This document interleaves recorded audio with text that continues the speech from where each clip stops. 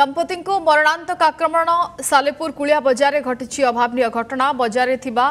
ନିଜ ଜଳଖିଆ ଦୋକାନରେ ଶୋଇଥିବା ବେଳେ ପତି ପତ୍ନୀଙ୍କୁ ଆକ୍ରମଣ କରିଛନ୍ତି ଦୁର୍ବୃତ୍ତ ଘଟଣାସ୍ଥଳରେ ସ୍ୱାମୀ ହରେକୃଷ୍ଣଙ୍କର ମୃତ୍ୟୁ ହୋଇଥିବା ବେଳେ ସ୍ତ୍ରୀ ଅନ୍ନପୂର୍ଣ୍ଣାଙ୍କୁ ଗୁରୁତର ଅବସ୍ଥାରେ କଟକ ସ୍ଥାନାନ୍ତର କରାଯାଇଛି ହତ୍ୟାର କାରଣ ଅସ୍ପଷ୍ଟ ହୋଇଥିବା ବେଳେ ଘଟଣାସ୍ଥଳରେ ସାଲେପୁର ପୁଲିସ୍ ପହଞ୍ଚି ତଦନ୍ତ ଆରମ୍ଭ କରିଛି